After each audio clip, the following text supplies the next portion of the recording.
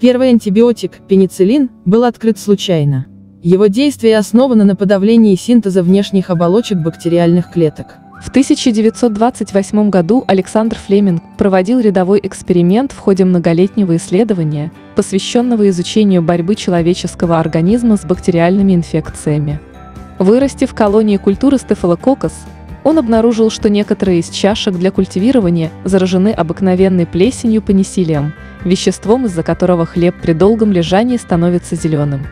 Вокруг каждого пятна плесени Флеминг заметил область, в которой бактерий не было. Из этого он сделал вывод, что плесень вырабатывает вещество, убивающее бактерии. Впоследствии он выделил молекулу, ныне известную как пенициллин. Это и был первый современный антибиотик. Принцип работы антибиотика состоит в торможении или подавлении химической реакции, необходимой для существования бактерии. Пенициллин блокирует молекулы, участвующие в строительстве новых клеточных оболочек бактерий, похоже на то, как наклеенная на ключ жевательная резинка не дает открыть замок. Пенициллин не оказывает влияния на человека или животных, потому что наружные оболочки наших клеток коренным образом отличаются от клеток бактерий. Течение 1930-х годов предпринимались безуспешные попытки улучшить качество пенициллина и других антибиотиков, научившись получать их в достаточно чистом виде. Первые антибиотики напоминали большинство современных противораковых препаратов.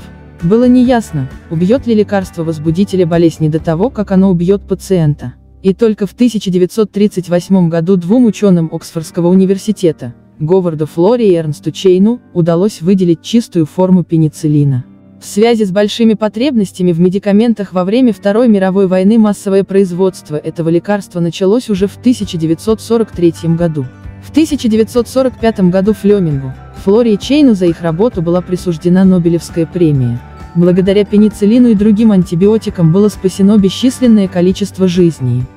Кроме того, пенициллин стал первым лекарством, на примере которого было замечено возникновение устойчивости микробов к антибиотикам. Вирусы не могли побороть антибиотик пенициллина 20 лет, а современные антибиотики продержались не больше года.